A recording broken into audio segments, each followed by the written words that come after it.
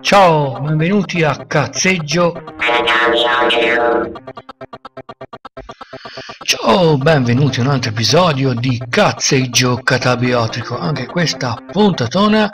dedicata al retrocomputing. Oggi discuteremo brevemente una retrospettiva dedicata all'Apple 2E Enhanced, ossia migliorato. Apple 2E fu proposto da Apple nel gennaio del 1983 e fu rimosso dalla produzione nel novembre del 1993. La macchina ebbe quindi 10 anni di ciclo di vita di prodotto, nel quale è possibile riconoscere tre tipi diversi di Apple IIe. La release A della scheda madre per Apple IIe prodotti solo nel 1983 e la release B dal 1984 in avanti la differenza tra la release A e la release B della scheda madre dell'Apple II sta nel fatto che la release B dal 1984 c'era la possibilità di sfruttare nel connettore AUX un'alta risoluzione sino a 560 x 192 pixel a 16 colori grazie alle tecniche di bank switching mentre nella release A della scheda madre dell'Apple II non si andava oltre i 280 x 192 pixel a 6 colori. Ora tutti gli Apple II prodotti dal 1984 in avanti ebbero ovviamente la scheda madre di tipo B L'Apple II aveva 7 slot Apple Boost da 50 pin, uno slot AUX da 60 pin, 64K di RAM sulla scheda madre, 16K di ROM sulla scheda madre, era espandibile fino a 1 MB o anche più a seconda delle schede che vi si potevano mettere, ad esempio come quelle della Apple Engineering che spingevano molto sulle tecniche di bank switching portando anche a valori molto superiori a 1 MB. Poi l'Apple II aveva CPU MOS 65C02 ad 1.02 MHz, risoluzione testo 40x24 righe oppure 80x24 in formato testo, risoluzione video, bassa risoluzione 40x48 pixel a 16 colori oppure in alta risoluzione 560x192 pixel a 16 colori. Ecco, Apple 2 e Enhanced non aveva circuiteria di chip audio e video dedicati come li aveva invece il Commodore 64. La macchina Apple II differiva dall'Apple II Plus per numerose e differenti migliorie hardware. Apple II aveva una tastiera completa, ossia un font di codice ASCII con maiuscole, minuscole, oltre a un selettore inferiore che permetteva di switchare la tastiera da QWERTY, versione inglese col W, a QWERTY italiana con la Z tra la Q e la E e la M accanto alla e la accanto, accanto alla N accanto alla L pardon nella versione italiana. Dunque eh, mentre Apple 2 Plus non aveva minuscole ma aveva solo una tastiera a uso di tipo QWERTY. Apple 2 aveva il basic AppleSoft in ROM mentre Apple 2 Plus doveva caricare AppleSoft in RAM da disco da cassetta Apple II aveva 64K di RAM già saldati sulla scheda madre, mentre Apple II Plus non superava i 48K di RAM saldati sulla scheda madre. Apple II poteva essere espanso subito fino a 128K usando appunto il connettore AUX, mentre Apple II Plus non poteva essere espanso nella RAM, ma solo successivamente alcune schede di produttori hardware compatibili con Apple II permisero ad Apple II Plus di espandere la RAM. Apple II poteva usare il connettore AUX appunto nella scheda 80 colonne eh, per 24 righe mentre Apple II Plus poteva usare solo la modalità testo di 40 colonne per 24 righe. Apple II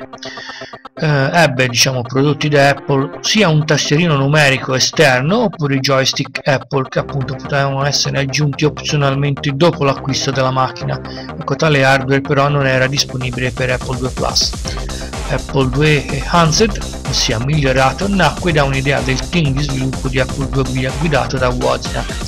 per proporre un home computer ad 8 bit che inglobasse tutti quegli upgrade che il mercato aveva richiesto per Apple II e per Apple II Plus. Apple II dotato di 64K di RAM con scheda di espansione da 64K in più ed 80 colonne aveva quindi 128K ed 80 colonne ed era perfettamente compatibile con Apple 2C che il piccolo proto portatile aveva 128k di RAM sulla scheda madre un disk drive ma la tastiera non era switchabile in italiano, solo una QWERTY con il W. Nel lontanissimo gennaio del 1988 la Apple propose il Platinum Apple II e de facto era un restyling del case dell'Apple II a cui era stato aggiunto un tastierino numerico, oltre ad essere stati inseriti nella scheda madre già una scheda 80 colonne quanto 128k di RAM. Sempre nello stesso anno fu proposto anche da Apple Apple 2 GS Upgrade Kit per Apple 2 per trasformare la motherboard B di Apple 2 in Apple 2 GS. Ecco, di tutti i computer della famiglia Apple 2, Apple 2 e Enhanced fu un best seller, il più venduto Apple 2 di sempre di tutta la storia. Trovò infatti Apple 2 una buonissima accoglienza nelle scuole americane, nelle piccole imprese, nelle case e come home computer. Io mi comprai a 15 anni un Apple 2 nel giugno del 1986 perché un mio amico aveva un Apple 2C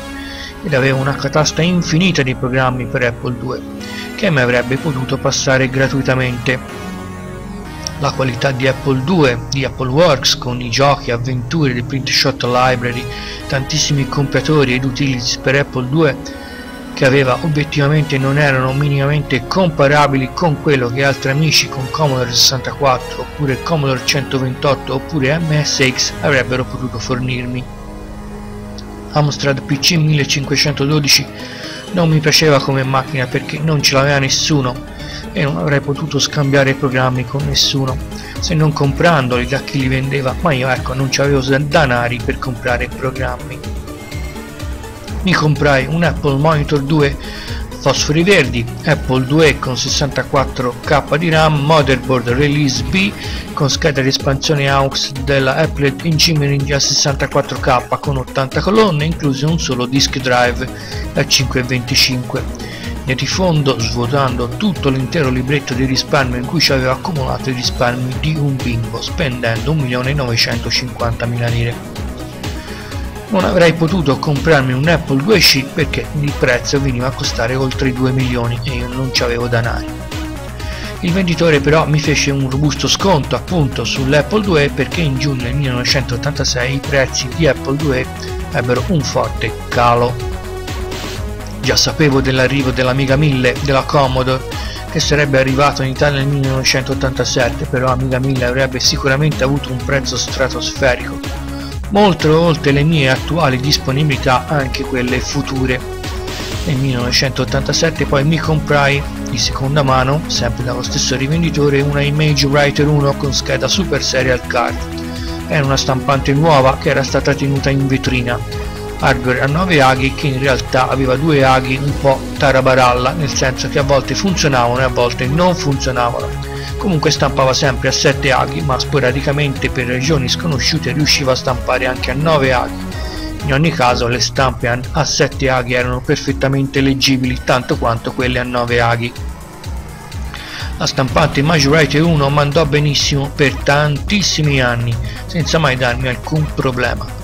Quando andai all'università iniziai a sbobinare gli appunti usando il word processor di Apple Works. Meditai inizialmente nel 1991 di far riparare Apple II nella tastiera e di comprarmi una RAM Factor da 1 mega da 629 dollari mettere in uno slot dell'Apple II questa espansione in modo tale che avrei potuto andare a 1 mega più 128k ossia 1152k cioè 1.15 mega questa soluzione mi sarebbe costata all'incirca più o meno 629 dollari per 1.2 con l'IVA al 20% con un cambio approssimativo di 1900 lire per dollaro, circa 1.434.120 lire. In alternativa avrei potuto togliere l'espansione AE da 64K e 80 colonne per sostituirla con una Applied Engineering RAM Works Tray da 1 MB che però già di su aveva 80 colonne. Io però avevo già la scheda 80 colonne quanto 64k di RAM di espansione e non mi andava proprio di andare a togliere questa scheda. C'erano 100.000 lire di differenza tra le due scelte, entrambe puntavano a potenziare Apple II per allungarne la vita operativa utile, essendo appunto io già dotato dalla stampante. All'epoca però non avevo danari per far niente, quindi procrastinai ogni cosa. Nel dicembre appunto del 1991 a mia memoria incominciarono appunto a partire alcuni tasti della tastiera di Apple II feci riparare, l'intervento mi costò 180.000 lire IVA inclusa, uno sproposito, che non avrei mai potuto più permettermi dato che dopo un mese poi mi saltarono altri tre tasti.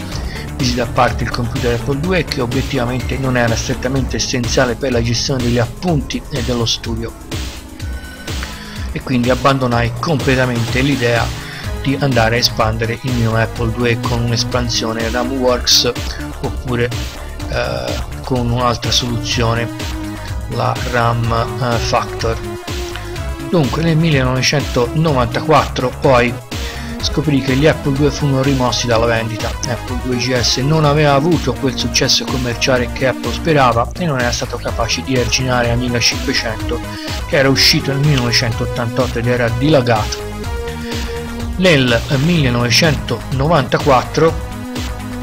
in laboratorio all'università non c'era un Apple II, non c'era un disk drive da 525, non c'era un'Amiga 500, non c'era un'Amiga 1000, non c'era un'Amiga 2000, non c'era un'Amiga 3000, non c'era un'Amiga 600, non c'era un'Amiga 1200, ma c'erano solo Apple, tantissimi Apple Macintosh, Macintosh 2, SE30, Classic, LC, LC2 con dischetti da 3,5 stampanti laser, Apple oppure qualche compatibile PC con Windows 3.1 che era in rete con i Macintosh. Ecco, non aveva proprio senso spendere 1 milione e 4 di lire oppure 1 milione e 3 di lire per potenziare l'Apple II con una scheda di espansione quando io con quel prezzo mi sarei potuto comprare un computer nuovo senza problemi hardware molto più potente con un disco fisso e un disk drive da 3,5 con la Commodore che nel 1994 era ormai fallita? Non aveva senso comprare un'Amiga 1200 non aveva senso comprare un'Amiga 600 oppure un 2000 che ancora si trovavano in Italia in negozi italiani nel 1994 con prezzi scontati ma che più o meno non è che erano poi così tanto scontati tanto quanto i prezzi della Apple. Quindi più o meno i prezzi si equiparavano. Ma in più io mi sarei trovato un Commodore quindi un'Amiga 2000 oppure un'Amiga 1200 che sarebbe stata poi una macchina incompatibile con le macchine di università e non ci avrei potuto nemmeno recuperare l'uso della stampante MagicWriter 1 ecco l'unica ditta nel 1994 94 pardon, che ancora produceva un computer era la Apple infatti i computer PC assemblati o di marca con Windows 3.1 quali sarebbero stati incapaci di gestire MagicWriter 1 ecco nel 1994 colsi i grossi sconti di Apple faceva appunto a tutti gli studenti universitari italiani che presentando il proprio libretto universitario si sarebbe potuto comprare un Mac Color Classic